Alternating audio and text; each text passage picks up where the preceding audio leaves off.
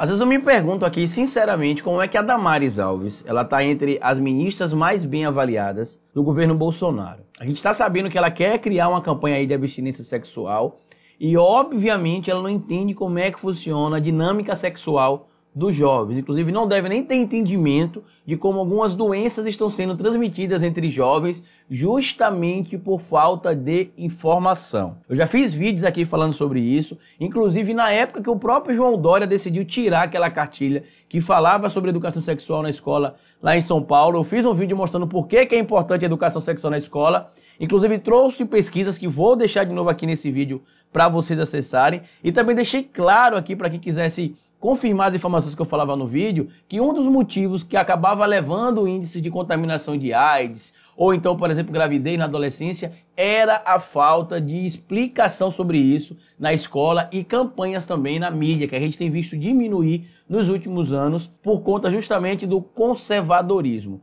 E só para vocês terem noção, vou mostrar para vocês também nesse vídeo aqui, eu mostrei que nos Estados Unidos, as escolas, por exemplo, que se tem educação sexual, os jovens iniciam a educação sexual mais tarde. Só que parece que a Damaris Alves não entende isso. Eu acredito que ela está pensando em contratar o Jonas Brothers e a Miley Cyrus para usar aquele anel de abstinência para que os jovens brasileiros não façam sexo antes da hora. É sobre isso que a gente vai falar nesse vídeo aqui para vocês agora.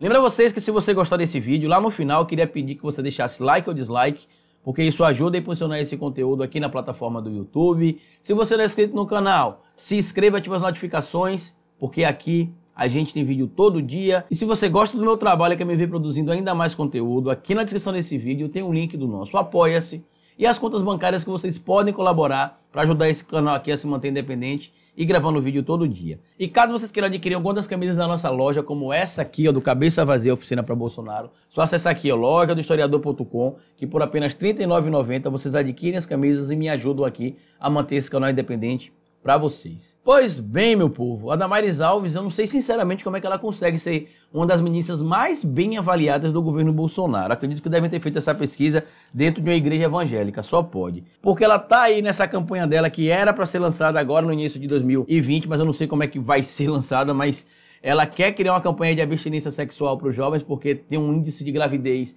na adolescência muito alto no Brasil e tem que tomar cuidado porque além disso tem as DSTs e que o jovem precisa entender que não pode fazer sexo antes da hora. Eu até conversando com um amigo brinquei, né? Será que ela vai chamar o Jonas Brothers e a Miley Cyrus para usar aquele anel da abstinência? Então é o seguinte, vamos aqui para algumas informações sérias nesse vídeo. Na época que o João Dória suspendeu lá aquelas apostilhas que falavam sobre educação sexual na escola, eu fiz alguns vídeos aqui e, inclusive, um desses vídeos eu mostrei o que é estava acontecendo no Brasil. Eu cheguei a mostrar, inclusive, no vídeo que em alguns estados o aumento de infecção pelo vírus HIV entre jovens de 15 e 24 anos e de 14 e 24 anos em algumas pesquisas teriam tido uma elevação de cerca de 740%.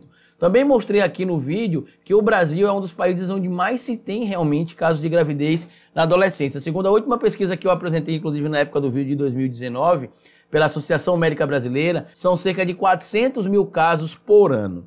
Outra coisa que eu mostrei também aqui para vocês é que em escolas onde se tem educação sexual, o índice de jovens que iniciou a vida sexual mais cedo diminui. Na época, inclusive, vou deixar a mesma pesquisa para vocês acompanharem aqui. Eu fui ver uma pesquisa de um grupo de estudos da USP, investigou quando é que os jovens iniciam a vida sexual. E os jovens estão iniciando a vida sexual cada vez mais cedo, entre 13 e 17 anos. E eu até mostrei no meu vídeo, por exemplo, que o Dória tinha tirado as apostilas de alunos do oitavo ano. E se vocês forem ver a faixa etária dos alunos do oitavo ano, eles realmente estão entre os 13 anos, por exemplo, quando a pesquisa diz que os jovens iniciam a vida sexual. E por que, que a gravidez na adolescência acontece? Óbvio que por falta de informação e também por falta de educação sobre o tema. A gente tem visto que o Brasil tem se tornado um país hipocritamente conservador por parte de alguns malucos aí e que não tem resolvido essa situação da gravidez na adolescência. Ao contrário, a gente tem visto inclusive que por falta de ter campanha na televisão falando sobre preservativo, sobre DST, sobre gravidez na adolescência, a gente tem percebido que cada ano que passa isso tem aumentado. Imaginem você, pai e mãe, que tem um filho portador do vírus HIV, que não sabe, por exemplo, que foi infectado ou contaminado por outra pessoa e daí passou para frente também porque não tem educação sexual correta e não entende corretamente como é que se previne desses tipos de problemas. Ah, Carlito, mas os jovens de hoje podem ter informação através da internet. Pode ter informação através da internet, mas também na internet os jovens vão encontrar muitos mitos que podem ser tirados pelos pais, só que normalmente não é tirado porque é uma situação constrangedora o pai, o filho e a mãe sentarem para falar sobre sexo, mas que poderiam ser tirados na escola se a educação ocupasse o lugar que ela deve ocupar, explicando como é que o conteúdo deve ser tratado de forma técnica,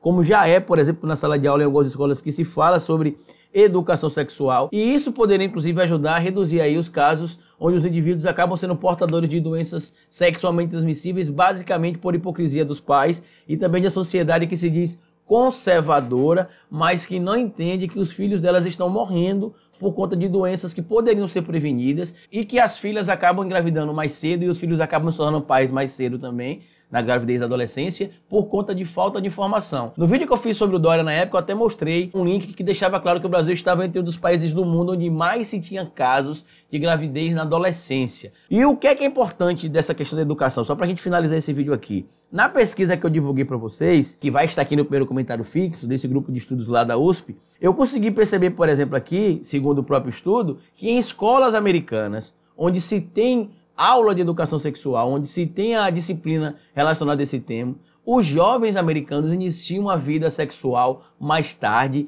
e o índice de pessoas que se previnem também é maior. E por que, eu decidi fazer essa pesquisa aí sobre essa questão da educação sexual na escola? Porque eu precisava entender o que é que está acontecendo. Eu já sabia que era por falta de campanha de educação também de ensino, mas a falta de prevenção me surpreendeu ainda mais. Por quê? Em 2015 foi divulgada pela Pense uma pesquisa que mostrou que os jovens do nono ano do ensino fundamental que são sexualmente ativos 33,8% disseram não ter usado preservativo na última relação sexual. E isso pode ocasionar gravidez na adolescência, isso pode ocasionar a transmissão de doenças sexualmente transmissíveis. E nesse mesmo estudo aqui que eu pesquisei, eu descobri que os jovens que desenvolvem, por exemplo, um entendimento melhor sobre a questão da reprodução, atividade sexual, como compreender, por exemplo, o funcionamento do sexo, como engravidar, como evitar é, doenças sexualmente transmissíveis. Em casos americanos, como muita gente gosta de utilizar os Estados Unidos como exemplo, onde se tem informação nas escolas, os jovens iniciam a vida sexual mais tarde. Aqui no Brasil, por exemplo, enquanto a média é entre 13% e 17%,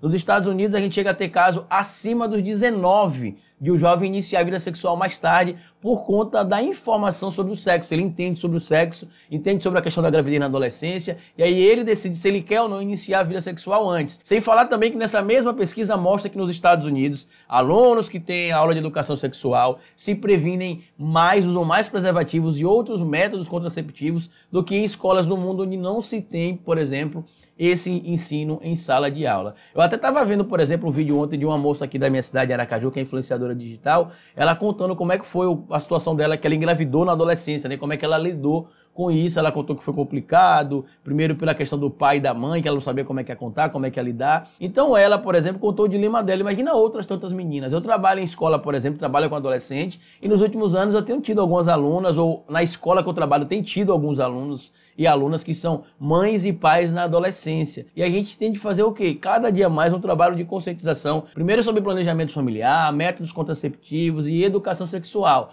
Óbvio que na idade adequada, diferente do que muita gente fala aí, a escola não trabalha com livro de sexo para criança de dois anos não, tá bom? No mais, eu queria pedir que você deixasse a opinião de vocês aqui. Queria dizer também que todos os links que eu falei aqui nesse vídeo estarão no primeiro comentário fixo. E se você gostar desse vídeo, como eu sempre digo para vocês, já sabe o que faz. Compartilha, curta, se inscreva no canal. E como eu sempre digo para vocês, cabeça vazia é oficina para Bolsonaro. Fica assistindo os vídeos aí porque eu já fui.